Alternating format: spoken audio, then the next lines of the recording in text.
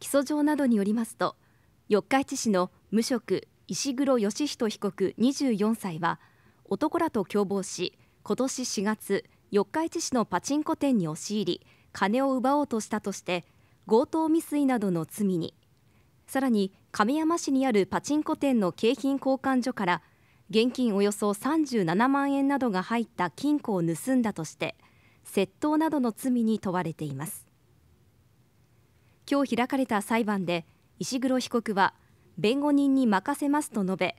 弁護側は現段階でいずれも認否を留保しました。なお四日市市と亀山市のパチンコ店での事件での共犯とされ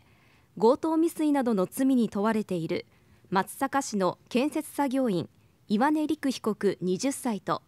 津市のとび職堀山海被告21歳の初公判も今日開かれともにいずれの事件も起訴された内容を認めました。